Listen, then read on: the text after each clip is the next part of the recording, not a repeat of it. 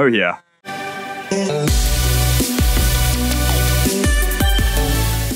What's up guys, it's Draken. You don't see this angle in the workshop a lot, but this is kind of what I look at half the time while I'm uh, modifying things and stitching them together. And a while ago, I promised you guys that if a certain video got to 5,000 likes, we would do a Boom Nitron build. Bobo, tell them what a Boom Nitron is. It's a Nitron that shoots really fast, made by a guy named Boom on the HVZ forums. There you go. So there's a little blast from the past, a little bit of history. So my good buddy Walt brought us over a Nitron. This bad boy is bone stock, complete with caution to avoid battery leakage sticker. Uh, nobody does Boom Nitrons better than Bobo these days. So we brought him over, and it's time for a good old fashioned YouTube collab. So we've got one Nitron, one Bobololo, uh, a couple of Rapid Strike parts. Oh. Oh. Yeah, I don't know why we're doing this. All right, Bobo. So before we show them the fruits of our labor, it's time for a word from our. Raid Shadow Legends, the new desktop and mobile game that is sweeping across YouTube. The one, the one with excellent graphics and amazing dark realism and fantasy. The one and the same, Bobo. Oh my god. Guys, so delving into the world of Raid, you guys can see that this is our main index screen, showing you a couple of different characters, and then we'll come on over here to the portal on the left side, where you guys can use shards and view your characters in depth and their abilities. Then the tavern, of course, is where you send your boys when it's time for an icy cold one, or if you want to upgrade them for future battles. Or drink them to death. I think you mean sacrifice them for more awesome champions. Speaking of battles, you can come on over to the clan boss where you fight with your teammates against a clan boss for awesome rewards. Or if they don't hold up their end of the deal, you can throw them into the arena and PvP your friends and enemies. If that's not your cup of tea, you can do the campaign where not only can you play through an exciting fantasy adventure, but it'll play through the adventure for you. And then, of course, you have dungeon crawling where you can fight through 10 different bosses, winning new artifacts that'll help you fight more different bosses. Whoa, that sounds so awesome. I downloaded it I'm playing it right now. Drac, what's your favorite part? Well, Bobo, I'm glad you asked. My favorite part is that you can play both on your mobile phone or on desktop. Or both. and best of all, Bobo, Season 1's Battle Pass is out. Whoa! So you gotta download it now, buddy. I already did it for another cut of this ad. Hey, here's another phone. Whoa! Download it again. do it again. Yes! Raid! All right, guys, so what are you even waiting for? If you want to get all the same sign up bonuses as my good buddy Bobo, you just got to go to that video description, check out the special links, and if you're a new player, you're to get 100,000 silver, 50 gems, one energy refill, and a brand new free champion. Executioner! All that treasure is just waiting for you to pick it up. Good luck, and I'll see you out there. I'm hooked. All right, so Bobo pulled a lot of the screws out of this. Turns out you got short boy here, short boy here, here, and here, and then you've got a super long one up in the front. I think in here. There's about four different screw sizes. I highly recommend you make an outline and some craft foam or paper and use that as Definitely keep track of it. Don't put all of the screws into one black 3.0 you do, Drac. container like I do. Uh, then there's going to be three screws in the battery tray. You're going to pop all of those out. And then finally, theoretically, this bad boy will uh, separate into two two shell we pieces. Oh, we're almost there. I think there might be one more screw. Oh, you got a straggler? yeah. Bobo Nolo. No, Bobo. There's so many screws in this thing. All right. The prophecy fulfilled. Does this Gotta come take off? off. Yeah, let's. Pulls off as one piece. There's going to be a box. Just kind of. Oh, we're so close. I hate the Nitron. I hate getting it undone. And I get that. I got that. You volunteered for this. you were kind of voluntold. Oh, oh, I remember now. You have to. Oh, it slides off. Ooh. Comes off at an. It's so overproduced. And then yeah, this whole thing comes off. All There right, so there's our, our muzzle device. We've formally removed it. all right. And on the inside, you have the box that also splits What's this? Is this the launch ramp? Fun. The launch ramp, ye old launch ramp. All right, so we got a safety mechanism over here. Uh, this is our rev switch, which has escapade. Uh, and then inside, we're looking at a whole lot of stuff. We've got Don't let this freak you out. We're taking all of it out of the system. So just pretty much the works. Uh, there's also some safeties up here on both sides. There's the wheel follower right here. Um, All right, so could- let's uh let's let's talk through this as we go. So this is garbage, yeah? let's or is hear. this the this That looks like it's the magazine cache. That is part of the piece that yeah holds the goes from this side. Is this the mag catch? Yep. All right, so this one we got to save.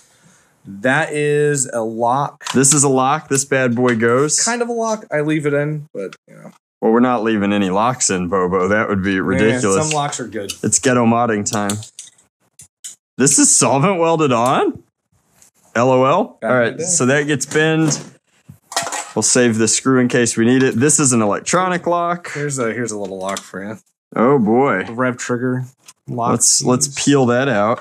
this little guy right here. Yeah, that's So gone. to- yeah, you know how it does. You know how we do out here in the Southeast Nerf Club. That's your mag. All right, what's under this panel? Nothing. is how you get this. Fr- so this thing also comes apart in pieces. There's a screw right here. There are two screws right there. That's how you get the front grip of it off. If you want to get to the motor on this side, which we will have to get to, you have to take that apart. Sweet. All right, so we're gonna bust this rev switch out because we don't need that. I assume we're using. Yeah, cut it, cut it. We're gonna use real switches. bend. All right, same thing up here, right? Mm-hmm. So this is our trigger switch. This is what actuates our pusher The mechanism. master has become the pupil. Same thing. We're uh, cut it, cut it. Need a spring in these snippers. Yeah, well. so that one's going down.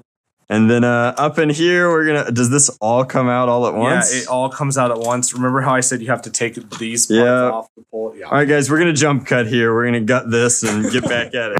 All right, so Bobo's just gonna ladybug this bad boy open. Once you cut a couple wires, you also need to get this part off, which is held together here. It's held together This here, panel holds and it's also on. held together down in there. So once you get that off, this just- entire thing comes The whole, out. the whole kit and caboodle. This is your main part of the Nitron. You got switches here. You got a heat sink on this thing. You got Wait, a there's a sink. heat sink on these There's bad a boys. Heat sink. Basically, in in basic terms, no matter how much voltage you pump into this, it's going to go about the same speed. But we're going to remove this motor because it's absolute garbage and will burn out very quickly. Oh look, it'll go fast now, Bobo. Yeah. So what we're gonna do is in the back we're gonna put a 130 or a 132 motor in here. Oh, it's gonna work really well. This motor's crap. This motor is awesome. Don't have to do anything besides remove the PCB, but we'll get to that point eventually. Get this part out. All right. What uh what are we removing physically here? These locks We- look superfluous, yeah. So those don't have to be there. Um, the switches are can be cut. This is your disc jam thing. Um, what if we just assume we'll never jam? then you can remove it. Screws right there. So I've gone ahead and removed all the screws from these parts. The only thing holding them in are these uh, these spring powered levers in here that are holding them in. Bobo's going to show you how to remove them with pins. I have never done. He's going to come in. He's Usually, going to like just- try and pull those out, and then while he's doing that, I'm going to show you how to actually take this apart. Now you're gonna have a rattle inside the blaster. No, we're going to remove all of it, my man. no. Those are coming out, and then we're yeah, just pull those out, and then this is coming out like this. Ooh, hold on. Let me, let me try some. Or you, I got a big brain idea. Watch this. big brain idea. Uh, I don't want to cut through metal, but you know. Yeah, they won't cut through metal actually. All right, you did it. We're gonna finish this job off camera, boys. But uh, basically, we are coming in. We are doing a clean, clean removal Like the small. part. at an angle like that. And then these should just pull out. What are you doing? Die wires, die. Oh God. All right, so once you've gutted all of that off the top there and you've taken this off, there was originally a return switch here. If you want to do a three switch uh, Boom Nitron, and I don't know why you would since the objective is to dump as many discs as possible, uh, you could leave that in theoretically. We've got some spider web and some cat hair in here. This is great, but I've isolated the electronic circuit and Bobo's going to show you exactly what to do with it. Problem solved. Oh man, oh man, not on my not on my good Christian YouTube channel. Uh, so we're gonna have to remove all one, two, three, four, five, six, seven, eight, nine, ten unnecessary amount of screws to get at the motor pinion for this guy, so that we can remove it and isolate it completely from its gear train. And then we're gonna carve out the battery tray, and then we're gonna isolate these leads. Interestingly enough, Nitrons have one free spinning flywheel here, To stabilize it. and then one that's powered, and we're essentially gonna throw them down the corridor uh, that you see here. Fit something like that. Yeah, like You're, that. you're close enough. Yeah, exactly. Science. All right, guys. So once you remove those screws, this comes off. You can see a bunch of greased gears in here, and uh, this should let us get at the pinion down in here for this motor. Then we're going to remove this motor entirely. Ooh. These gears are plastic. Yeah, I'm gonna have to do it. Got to be careful. Yep. You have to go in there. That's usually how I do it, though. Be very careful. And there we go. There we are. And you're gonna want to get a 3S motor. So we're using an old unmarked Rhino motor. Does not need to have a bunch of torque. because it doesn't have to overcome a whole lot. Uh, then we're going to drop this out. We're going to lock the motor in since they're completely different sizes with some polysilicate uh, or maybe some super glue or some non-sensory. We'll figure that out and we'll show you what it looks like when it's done. All right, so once you take this cap off here, you guys can take a look at our original pusher. Uh, this board came off, then we desoldered these leads, then this guy came out. This is uh this is pretty garbage. We'll set it aside and do something hilarious with it later. But for right now, we're gonna need to lock this in. Uh, of note, since these screws uh, are not the same spacing here, we're gonna have to like actually lock it in, lock it in uh, after we get the pinion in place. But before we do any of that, since our little uh, leads here don't fit through the original holes, we're gonna have to carve these out just a little bit more. And uh, after we've done that, we can splice leads onto here and run the wires through. But uh, we're gonna need to hook this up like that. There we go. All right, guys. So once you've reassembled this, you've got the pinion in there, you've super glued that in or used Loctite or something. This is still a little free spinning, and you can see that in the context of our leads. Now we have holes with the leads exposed here, but we want to make sure that this doesn't rotate around in here. So to that end, what we're going to do, Bobo usually uses epoxy putty. Uh, people have shoved plastic down in here, but what we're going to do is we're going to use polysilicate. We've been using the same stuff for a long time, and this is going to create kind of a, uh, a rubber mold inside here that'll prevent the spinning. And we've got a super micro tip on here, which is going to let Pull us. whole thing up. For those of you using 132s or 180s, you're gonna need longer screws. That's to true. Put that cap on. Just a fun tip. And you only have to do one half, but we're going to go ahead and fill it all up since we've already got our gap filling in here. And this kind of cures, like I said, it's a, a rubberish polymer. You are going to overkill, sir. Well, you know, I, I want to be thorough. You do not need to go up the sides. You don't need to go up the sides.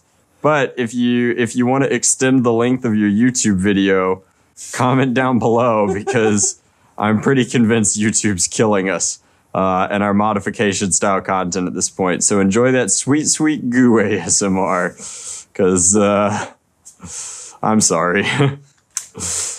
Okay, guys, so we've got our pusher mechanism here. We've run two leads of uh, 18 gauge threaded wire. They go down into a channel underneath here, and then this sets into place. And Bobo is insisting on telling me that that one needs to come right over there. Excellent. So our wires are coming down, and now they're in a place that we can put them into a trigger switch. The question is, Bobo is like, yo, we're doing something crazy with So- this uh, this flywheel setup, and Even when I know how to do this, it drives me bonkers.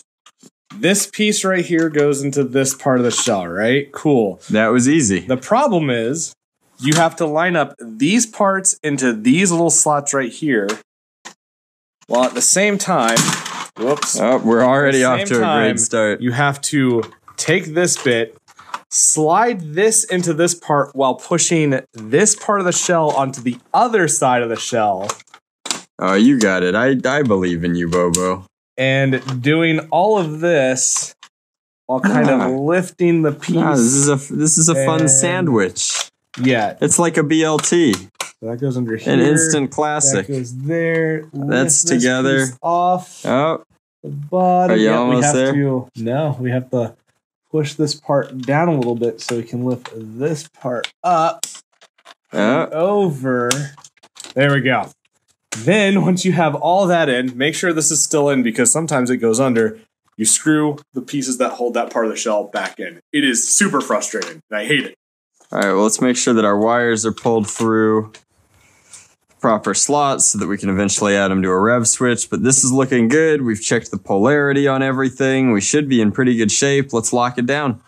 Of note, the shell is flush on the other side. Yes. We used to think this was great molding. Now I realize that it's just aesthetically necessary to accommodate how weird this thing is.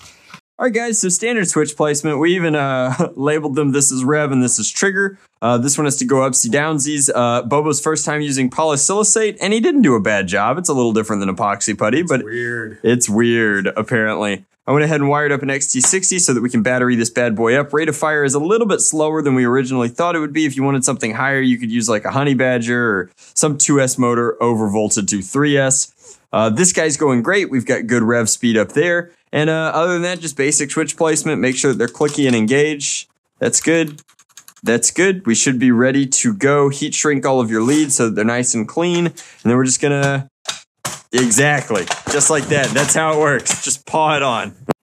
All right, guys, so here it is. It looks like a regular Nitron, right? But wrong. This is a full on boom Nitron using that uh, two switch setup, getting high, high rate of fire and slightly improved performance. But the objective back when people were making boom Nitrons was to use them as horde busters for a game called Humans vs. Zombies, which is essentially like live action roleplay meets tag meets Nerf guns meets uh, zombie apocalypse. But uh, these magazines are super slick. We've got some 10 rounds, and then we have something special uh, for the end game here. But let's just see what we got.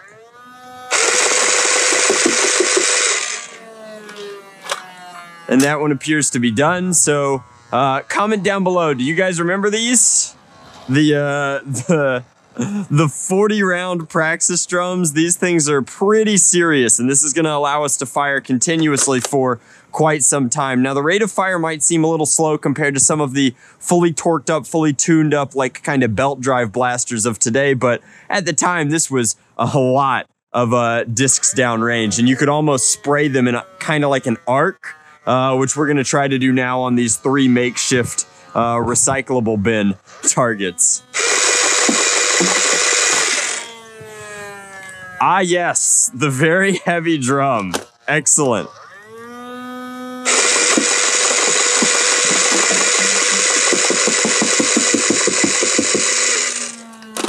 That's pretty sweet. So let me know what you guys think down in the description box below. Uh, what should we make next? Get this guy to 5,000 likes and we'll take the top comment and we'll do that as a, uh, a vintage mod guide. I never got around to making one of these back in the day because I was pretty obsessed with pump action springers, but it was really cool to have Bobo over here to, uh, to bring this bad boy to life. Let's take it inside.